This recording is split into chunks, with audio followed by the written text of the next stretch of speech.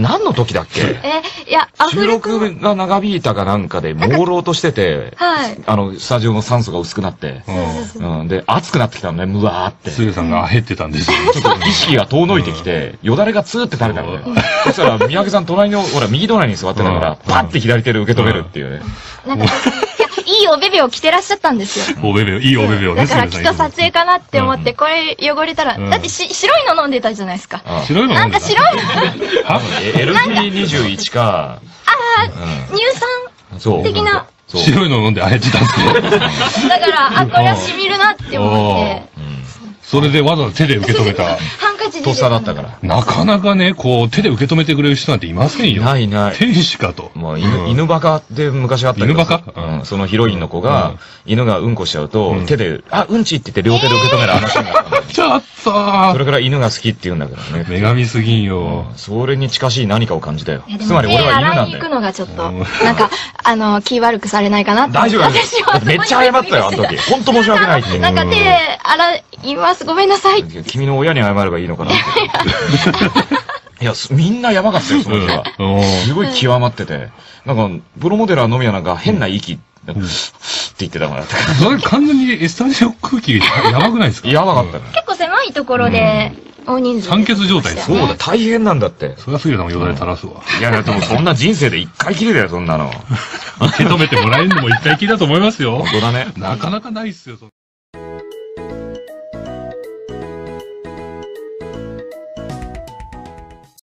で、ほら、行ってたゲームセンターの近所そんなんばっかりだから、必ずそこの前とか撮ると人がパッて出てきたりするんですよ。こういう人が行くのか。おお、それは困る妹専門みたいなところなのに、出てきたのお父さんみたいな人が出てきて、うん一応お兄ちゃんと呼ばれるのかなとかもそう思うとね、うんおかしくでしょうがねほっといてあげて、ほっといてあげて。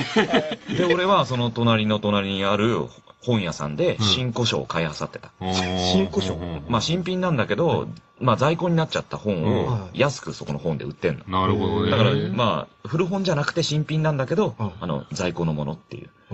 うんだだって店員に覚えられて、入りましたよ、いいのって言われて、いつも言われてたから、それどんなタイプの本買ってたかによるんですけど、何ですかその入りましたよ、いいのって。いいのって、いい新古書入りましたよって言って、どういう、どういう内容の？どういう内容の？新古書ですかそれ。なんまあほら、エロ本の話前したらさ、なんとなく俺の性癖がバレちゃったよね。やっぱりそういう本じゃないですか。ごめんな。でも、でもやっぱ、やっぱ熱射ボーイとか、あの辺の、やっぱりその、野外露出系は俺あんま好きじゃなくて、あ好きじゃないんだ。あとスーパー写真塾だと、うん。丸書いて尿書いて尿番茶ってコーナーがあって、何ですかそれ。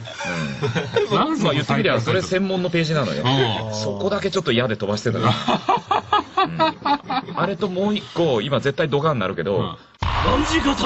そこはもう破って捨ててた俺。なん。でもったいねえ。もったい別にそれ悪くない。その当時合法だったんだから。やかましい。まあ台本に書いてあるから言いますけども、アフレコ現場はどんな雰囲気なんですか？え、真剣そのものですよ。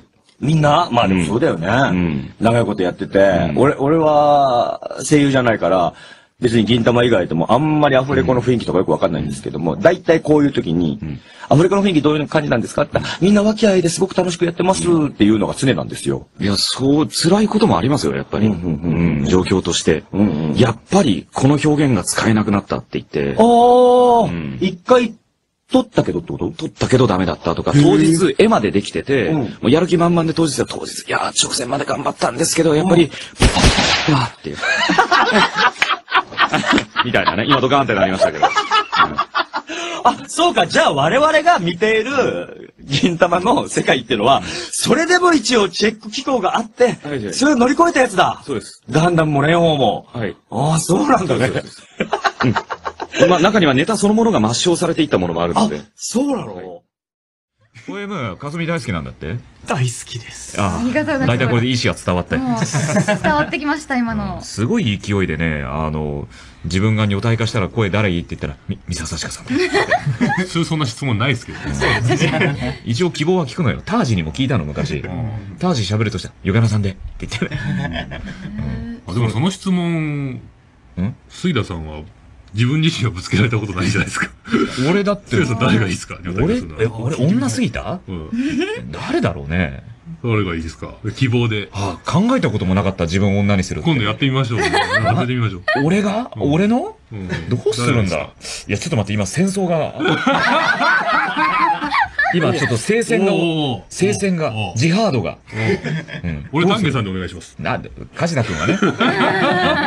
ほら、ケトリンさんは小野賢章くんか、小松美香子さんになるから。はい。もう決まってますからね、僕はね。うんひどいな、このキャスティングな。俺どうしようかな。好きな考えといてくださいよ。うんじゃあ募集もします。はい。募集します。今、青森県のカールぴょこぴょこめぴょこぴょこからいただきました。来てますかね？来てないかな？いるかな？誰かの T シャツ。ツになってるとかないですか？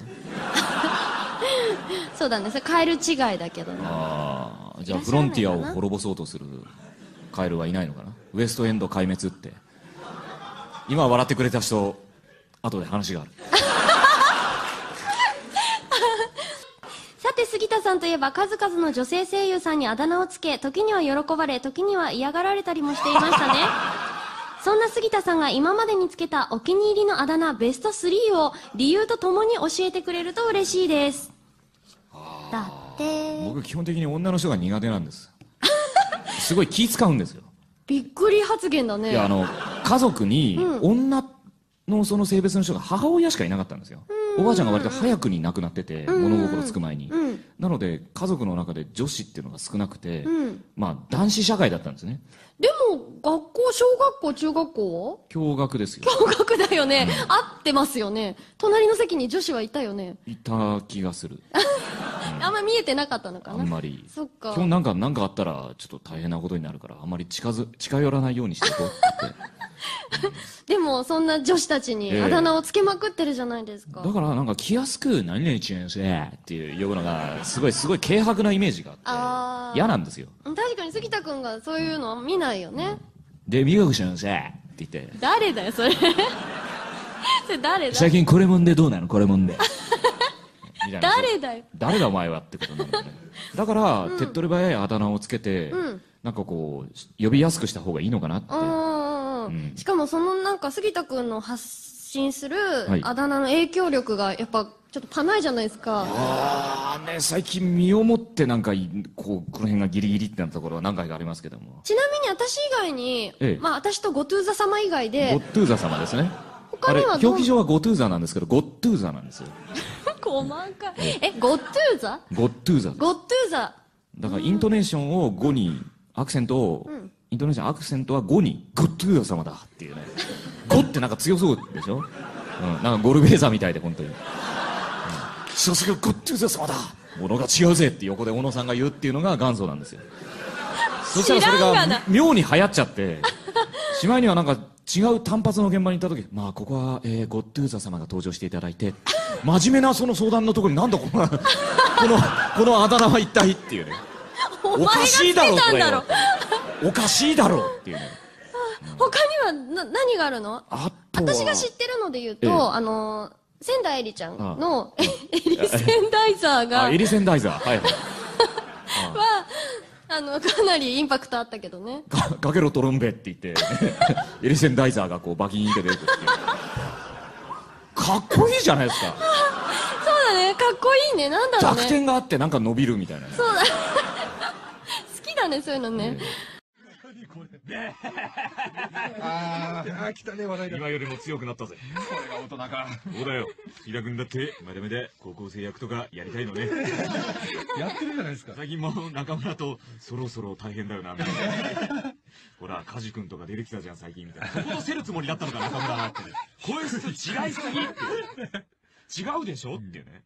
君しかやれない役があるんだからさ、っていうね。そう。そうですよみんないい声だから。そうなんです。ありがとうございます。本気で嬉しいです。じゃあ次、佐藤のターン。はい。お前、あの好みの女性は年上の女っていうの？は本当か？年上の彼女ですね。そうか。いいですよ。なんか最初はいがみ合っていたのに、いつの間にか付き合ってたみたいなシチュエーションが。これ、なんでわかるんですか？そうだな、本当に。最初はなんかむしろ嫌いだったみたいな。そうそうそう。別にお前のこと好きじゃねえよって言ってたけど、いつの間にか隣にいたっていう。あ、そうなんだ。完璧ですえ、ね。どうやってお互い好きっていう気持ちに気づいたのそういう時って？これやっぱり何かアクシデントがあるんですよアク。シデント。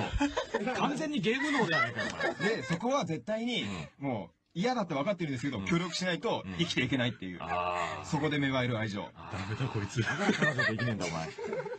ばらさないで じゃあ行くぞ。佐藤の理想。年上の彼女。この家に来て半年。毎日彼女は、俺のために仕事に行っている。お気楽な生活さ。何？紐？やめろよ。彼女が俺の魅力に夢中なだけさ。ただいま。遅くなってごめんね。いいよ。別に気にしてないし、あ、ご飯食べた？めんどくさいから食ってない。うーん、ちゃんと食べなきゃダメよ。え外に行くついでに？いいわよ。おやつ持っていくわ。わーいあ、僕両手でお手ができるようになったんだよ。あ、頭いいこら、佐藤 犬じゃねえか何か？せめて人間を演じろな。んで犬なんだよ。あれだって、杉田さん僕言ったじゃないか、年上の彼女お願いしますって。いや、そうだけどさ、彼女っていうか飼い主だろ、これ。しまったでもそんな人生悪くない。今野さん。ファクトファイルは謎の尺調整だから知らないんですけども、急にナレーションでって言われて、え、達久くんじゃなくていいんですかって言って、主人公だったからね。結構抵抗したんですけども、いやー、杉田さんで、って。やれよ、嫌だって。やれやだ。誰が言ってきたのそれ。なんか東映の偉い人偉い人はやれよ、やだ。だからその、敷地で、あの、動画番組で僕とマフィアカジタで好き勝手やるのを許可したらいいよって言ったら許可が出て。はやらざるを得なくなった。そう政治材料を持っていったら OK が出たから、よしやりますっていう。はあ。で、アドリブなの？ほぼないですね、台本。仮面ライダー、ファクトファイルって言ってなんか情報がちょっとあって、あとはなんかキャラに合わせてセリフを入れてくださいみたいになって。なんとなくセリフは書いてあるんですけど、これ、あれ、なんで俺女までやんないといけないんだ、これって。まあ、見てて違和感はありましたけど、うん。杉田くんらしいなとは思ってました。というのもやっぱアフレコやってる時も、杉田くんは、なんだろう、言っちゃなんですけども、おそらく監督は分かんないで OK 出すだろうなっていうレベルのアドリブをガンガンに入れるのね。入れるな、入れるな。で、それには必ず確実に元ネタが存在していて、うんうんもう僕でさえ追い切れない感じのアドリブをガンガンに入れるわけ。で、監督が面白がって、はい、OK ですって言っちゃうもんだから、今の絶対ダメだよって思うんだけど、今だから言うけども、あの、ドラゴンナイトのとはちょうどあの、スクエニさんのゲームにハマってたんでうん。うん、ずっとあの、七英雄のダンターグのセリフをガンガン入れてて、もう俺。今の絶対ダメだっていうやつなのに OK しちゃうんだよ。弱者は強者にひれ伏すものだぞって言って、完全にダンターグですよ。それさ、オンエアされてる。オンエアされてます、されてます。そうなんだ。闇雲にさ、それ OK テイクにしちゃうもんだから、流れてんだよ。だから、あーあーと思って、ここ何にも書いてなかったのになと思って、杉田くんのよくわからない操作が入っちゃってるよ。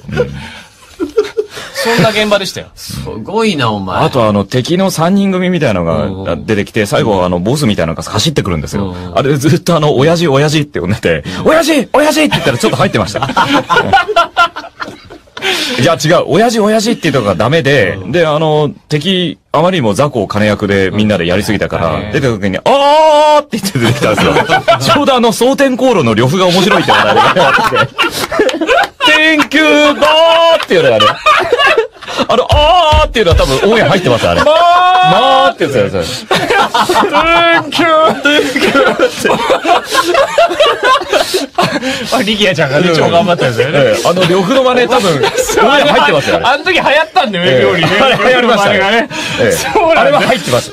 親父は入ってなかったんですよ。お前、今だから許されるみたいになってるけど、本来許されないからだぞ、お前。言ったんだよ、俺はその時にダメだって。でもさ、監督が OK 出すんだよ、もう。いいっすよね、あれは。ゲームやってなくても惚れ込みますわ。そうそうで、まあゲームつながりで、ボトムズのゲームって、まあスーパーファミコンで出てて、ああ、結構いろんなハードで何気に出てるんですよ。そうそうそう。あとはプレイステーションで、あの、お前が限定版持ってたやつ。ああ、ライトニングスラッシュですね。そうそう俺あれドハマりしました。ボトムズまだ見たことない頃に買ったんですけど。本当？絵柄が濃くてびっくりして。濃いよなんだこのゲームって思ってやってたんですけど、くっそ面白いんですよ。いや、めっちゃ面白い。あのハードなね、油の匂いが漂ってくるような世。わー、やってみたいいや、いいですよ。で、オリオリジナルキャラクターがいるんですけど、あの、キリコが脱出するじゃないですか、あれは。ウド、うんウド脱出を影から助けるんですよ、そのゲームではしないので。